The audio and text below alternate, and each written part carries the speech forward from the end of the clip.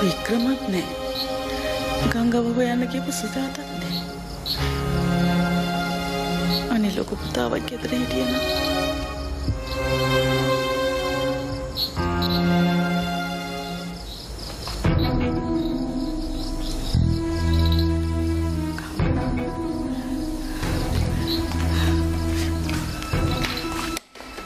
කොහෙද ළමයෝ ගියේ?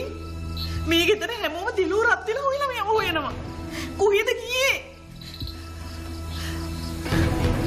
රේණුකා දැන් කලබල වෙන්නේ නැතුව ගිහිල්ලා මේ දරුවට බොන්න වතුර එකක් ගේන්න. යන් වතුර එකක් ගේන්න.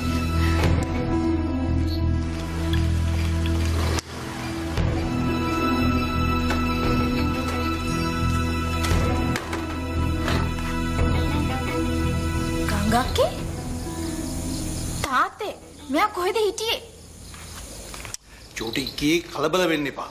මෙයා රෑ වෙනකම් පාක් එක ළඟ ඉන්නවා කවුද මිනිස්සෙක් දැකලා පොලිසියට කෝල් එකක් දීලා.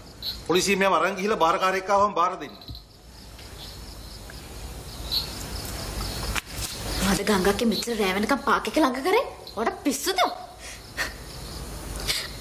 එතෙන්ට තමයි මමයි චානු බබයි ඉස්සර කතා කරන්න ඕනේ වුණාම යන්නේ. මට එතන චානු බබාගේ සුවඳ දැනෙනවා. පාක් එකේ නෙවෙයි. ඒ දරුවගේ සුවඳ දැන් මේ රටේවත් නෑ. මිනුමිය විකාර දොඩවනවා. අම්මේ අනේ මට සැර කරන්න එපා අම්මේ. මට චානු බබාව හැමතැනම ඇවිල්ලා පේනවා. එයා මාව දාලා ගියා කියලා මතක් වෙනකොට මගේ පපුව හයියෙන් ඩඩක් ගාලා ගැහෙනවා. හරියට පුපුරන්න ළඟිච්ච බිත්තරයක් වගේ. අපි කියලා මොනව කරන්නද ළමයෝ? අපිට දුකයි තමයි. නෑ රේණුකා. අපිට කරන්න දෙයක් තියෙනවා. චූටික්කි. මේ ගංගගේ බෑග් එක අරන් ගිහිල්ලා බැද කාමරෙත් තියන්න.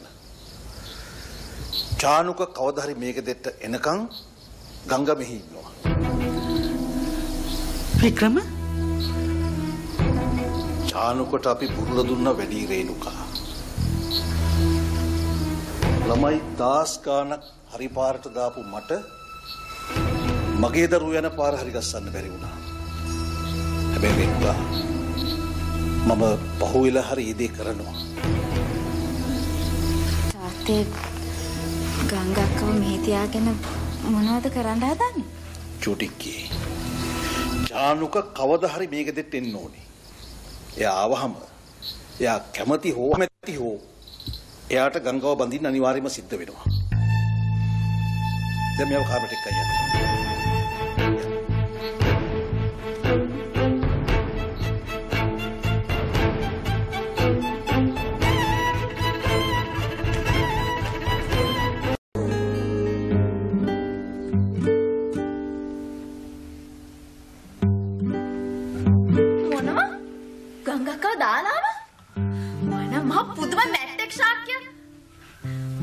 නැතුව ෂොක් එකේ ඉන්න කෙල්ලෙක් මෙහෙම මග දාලා එන තරම් අමනුස්සෙක් උනේ කොහමද?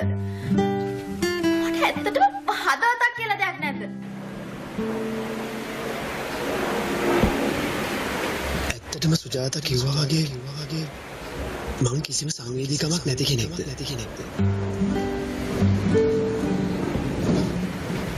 ඒක එහෙමනම් එහෙමනම් ඇයි මට එහෙම වුනේ? එහෙම වුනේ මගේ අම්මා මගේ ළඟ හිටපු නැති නිසාද නැති නිසාද? එතකොට එතකොට එතකොට සුජාත සුජාත එයාගේ ඇත්ත අම්මයි තාත්තයි නෑනේ තාත්තයි නෑනේ ඒත් ඒත් එයා කොහොමද ඒ තරම් සෙන්සිටිව් වුනේ සෙන්සිටිව් වුනේ නිදිමතයි බා. මොන හරි බඩට දාගමුද? මට බඩගින්න නැහැ. බඩගින් කාප. හා. මේ ශ්‍රී ඇයි? මම ඔබෙන් කාරණාවක් අහන්න උඹ මට අවංකවම උත්තරයක් දෙනවද? ඒ මොකද්ද? ඔබට හිතෙන විදිහට මං ඉන්සෙන්සිටිව්ද? නපුරුයිද?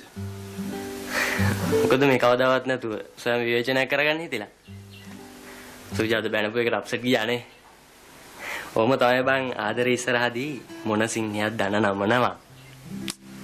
පණ්ඩිත නොවී මං අහපු දෙයට උත්තර දීපන්කෝ. අවංකව කිව්වොත් උඹ එදා ගංගව මග දාලා ආපු එක නම් වැරදි. උඹ try කරන කෙල්ල උඹට responsibility එක බාර දුන්නාම කොහොමද කොල්ලෝ වැඩ කරන්නේ? මට පුදුමේ සුජාතුම්බේ කනට ගහලා ගියේ නැති එකට. ඔබ කියන දේ හරි. සමහර විට මං සුජාතත් එක්ක ඩීල් කරන විදිහ වැරද්දක් ඇති. ඒ කියන්නේ මං ඒ සබ්ජෙක්ට් එක ෆේල් ඇති. මේ මොකද්ද? ප්ලීස් මචං. මේ වෙලාවේ මගෙන් ඇකඩමික් ප්‍රශ්න නම් අහන්න එපා. මගේ ඔළුව පුපුරන්න වගේ. බෙස්ට් ඔෆ් වෙච්ච උඹෙන් හියුමන් බ්‍රේන් එක ගැන ඇකඩමි ප්‍රශ්නයක් අහන තරම් මං කවුද බං? මම හදන්නේ උඹ මෙච්චර කල් සයන්ස් වලින් දැනගෙන හිටපු දෙයක් ගැන වෙනම ඇන්ගල් එකකින් උඹට කියලා දෙන්න. ඒ මොකද්ද? මචං ග්‍රීක දර්ශනයට අනුව හියුමන් බ්‍රේන් එකේ කොටස් දෙකක් තියෙනවා. එක කොටසක් තමයි ඩියෝනීසියානු කොටස.